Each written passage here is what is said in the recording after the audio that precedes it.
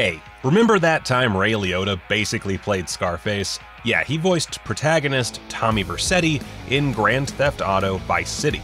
Accidents happen. Get lost. A game I spent way too much time playing as a young, impressionable teenager. So, as I sit in my jail cell and think on my many, many crimes, I figure I might as well list some of my favorite celebrity cameos from across the GTA universe. Let's get cracking. It's almost yard time. You two, off your asses. Let's go. Let's start off with Will Forte, because uh, he's MacGruber, and that's just science. He plays Martin Sirius in The Lost and the Damned, which is an expansion for GTA 4 and follows the exploits of Johnny Klebitz, the head of the Lost MC's Liberty City chapter. So basically, GTA with a motorcycle, which pretty sweet. Anyway, Martin Sirius is a shock jock radio host a la Howard Stern, and even has a show name to match. His is The Martin Sirius Show, which, uh, yep, that's that's how you do that. That's right, Lisa. This is Extreme Radio. Extreme! Another modern comedy titan, the Righteous Gemstones' very own Danny McBride, Them just some fellas I play car pranks with. played Dwayne Earl in GTA 5, wherein he also appears on the radio to give insight to um, animal husbandry. You guys dropped acid, didn't you? Big yikes! Not sure how much more I can say before our advertisers' ears perk up. Uh, his segment takes place on Blaine County Radio and is entitled Beyond Insemination. Uh, Okay, let's move on.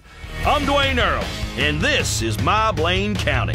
There are a few entries on this list I'm compelled to include, despite the fact that they're not so much cameos as they are supporting and even central characters. But either which way, I have to talk about the villainous officer Frank Tenpenny in GTA San Andreas, played by the OG BAMFer himself, Samuel L. Jackson.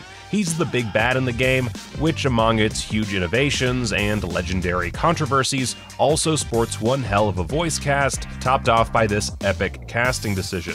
Tenpenny is a cop, of course, and being a cop in GTA, with a major effect on the story, he's also corrupt as all hell and uses his power to enrich himself through the gangs he's supposed to be stopping. And I do it all again. Officer Tenpenny's partner is Officer Eddie Pulaski, who was voiced by Chris Penn, another Tarantino favorite who most famously co starred in Reservoir Dogs as Nice Guy Eddie. He's your standard issue little man with power archetype with a mouth to match, and which gets him a swift kick in the head by our protagonist Carl Johnson after an expletive laden last request. Yeah. Can I your sister? As long as we're talking about actors who have appeared in Tarantino movies, something I wasn't expecting with this list, but also completely unsurprised about, I gotta bring up Danny Trejo, who plays Umberto Robina in Vice City. Yeah, whatever you're into, man. Hey, I'm into men. Men proving themselves. Oh, yeah, yeah. Okay, okay, yes, he's never been directed by Tarantino, but he was in From Dusk Till Dawn Best in Mexico. and in a fake trailer in Grindhouse, so I'm counting this tenuous connection made for the sake of a lame segue. Anywho, Umberto Robina, who also appears in the expansion Vice City Stories, is the leader of a Cuban street gang who hires Tommy to destroy a drug factory owned by a rival gang. He later gives Vice City Stories protagonist Victor Vance his first mission.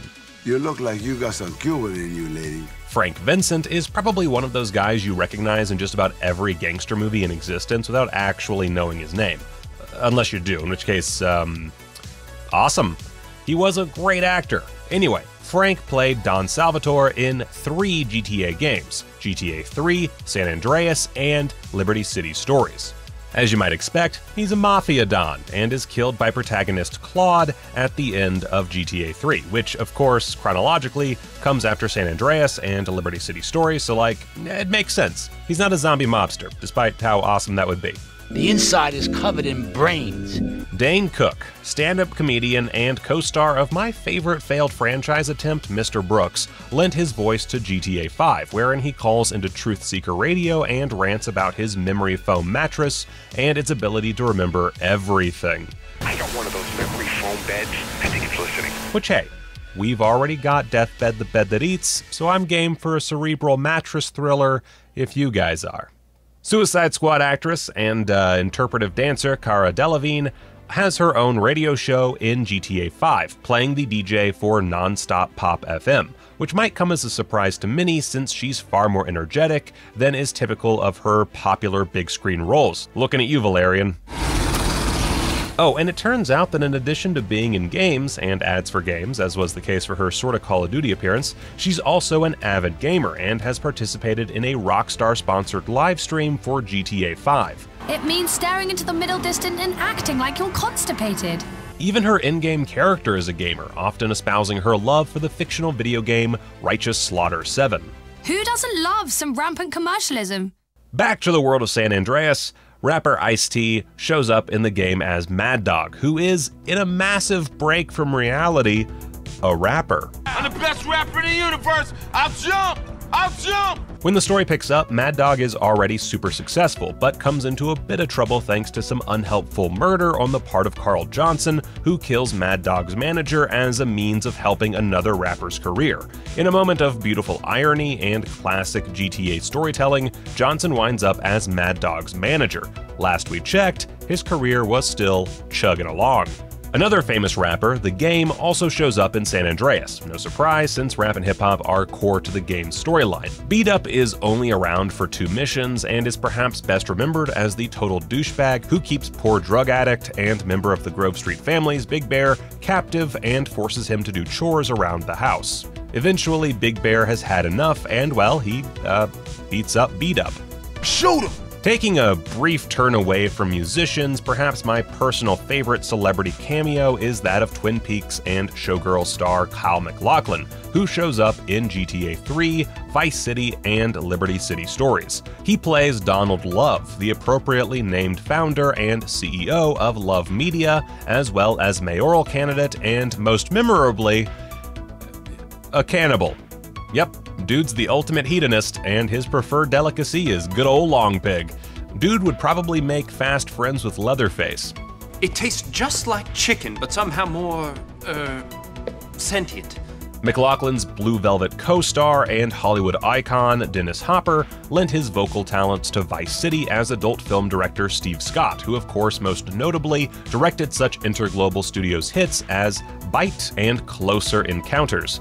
Oh boy, those advertisers are biting at my heels again. Uh, let's move on from this one. Honey, can you please keep the Andacon in the shot? He costs more per hour than you do. Hopper's Easy Rider co star Peter Fonda also snagged a small role in a GTA game, in this case as The Truth in San Andreas. The Truth is a conspiracy loving hippie type who grows Mary Jane and just seems to live life according to his own bleary eyed terms. He also might be the most memorably goofy side character in San Andreas, with most of his missions having to do either with that sticky green or UFO focused conspiracies, which, now that I'm thinking about it, makes it a crying shame he doesn't show up in GTA 5 to take part in all those Mount Chiliad theories. He also gets to utilize two great modes of transportation his painted van, the Mothership, and a swanky jetpack courtesy of Carl Johnson, completing the Black Project mission, and stealing it from a government facility called, of course, Area 69. Oh, and if Carl is too chonky when you attempt Black Project, well, uh. But you gotta lose some of that ballast first, badass. Back to musicians, Guns N' Roses' very own Axl Rose plays Tommy the Nightmare Smith in San Andreas. Tommy is Shock of Shocks, a rock and roll musician and host of classic rock station KDST. And in GTA 5, it's mentioned that he died after drowning in his own vomit. Now's probably the time to mention for all the newbies out there that these are not family friendly games. You know what I mean? And if not, you're probably an asshole. And swinging right back around to the stars of classic American cinema, the bandit himself, Burt Reynolds, voiced Avery Carrington in Vice City. He's introduced to Tommy by Ken Rosenberg, who we'll get to in just a bit, and owns Avery Construction. A clean thinker. I like that. He also has a massive influence on Donald Love, which I guess doesn't speak too kindly toward his many pearls of wisdom. Love would later have Carrington killed, and as is his way, eats the body. Charming. Trying to be funny, kid? Lethal Weapon baddie and generally strange dude Gary Busey has his own part to play in both Vice City and Vice City stories. You Phil Cassidy? Why? A one armed alcoholic weapons dealer, Cassidy is very helpful in supplying our criminal empire building protagonist with heavy artillery and explosives. Well, I guess he's not one armed the entire time, but he does make a whoopsie by standing too close to a bomb, resulting in his disfigurement. Well, then you know everything. Kifflom. Fred Melamed is another one of those that guy actors who you may remember from WandaVision, in which he plays Vision's boss, Arthur Hart, as well as a menagerie of other appearances, including the Coen brothers' A Serious Man and the ultra gory horror western Bone Tomahawk. In GTA 5, he plays Chris Formage, the leader of the Epsilon program cult, which may or may not be, uh, uh, let's say, a loose parody of Scientology. He also gets some radio time in San Andreas, in which he claims to have been birthed from two eggs laid by twins. What? Now, are you ready to write the tract?